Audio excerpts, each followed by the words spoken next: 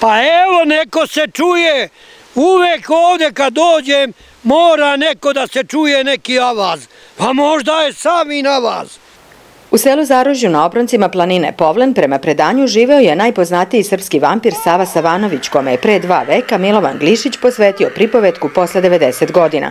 U njoj Glišić kazuje da je Sava podavio više vodeničara u vodenici smeštenoj na samom ulazu u kanjon reke Rogačice. O vampiru koji ih je proslavio u Zarožju kruže razne priče. 88.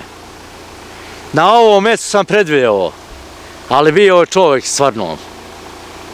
Prešao sam, znači, pešačka putanja je bila, nije, put je bio od ozgo, nije imalo mosta. Prešao sam ovdje, izašao, trči od ozgo. U meni je sve živo umrlo, tada, toga momenta. Skinuo sam kapu, kosa sišla, strašno je bilo.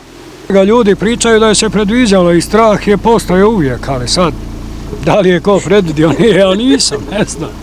A možda je bilo, ne mogu ja tvrditi nijedno ni drugo. A tačno je ovde Sava Savanović bio. Nju i njega je otkrio da je on vampir. Strahinja Đilas koji je bio iz Banja Luke, koji je trebao da odvede čerku Živana Vujića, pa je bio izbjeglica iz Banja Luke i onda je došao ovde i rekli da ga meste, da ga dadu, da bitne vodenčar, da ga Sava pojede. A i taj Đilas je tako bio spreman i vredan. Pošto je probijen glogovim kocem, Sava se, kako kažu, nije više pojavljivao u vodenici, a ona je dugo mlela žito, mnoga usta nahranila sve do polovine 20. veka. Od tada je propadala i pre dve godine potpuno se srušila. Posle više neuspešnih pokušaja i zahteva nadležnjima da se ona obnovi, prošle jeseni nekadašnji predsjednik mesne zajednice Kafeđija Mio Vujetić počeo je sa obnovom. U ponovnoj izgradnji Savine vodenice učestvovalo je desetak meštana, delom kroz besplatne, a delom kroz plaćene dnevnice. Zaroženi smatraju da će obnova obnova vodenice biti na dobrobit sela.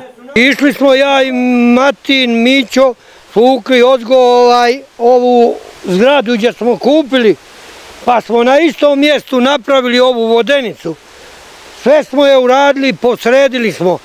Dao nam je komunalno dva dana skipa, te smo napravili odgo put i dovuko sam odgo šoder i uradio sa ljudima. Na proleće Mija očekuje da će vodenica biti puštena u rad, nakon čega bi opština i turistička organizacija trebalo da osmisle način njenog korišćenja u turističke svrhe, jer se brojni turisti i planinari često interesuju za Savinu vodenicu.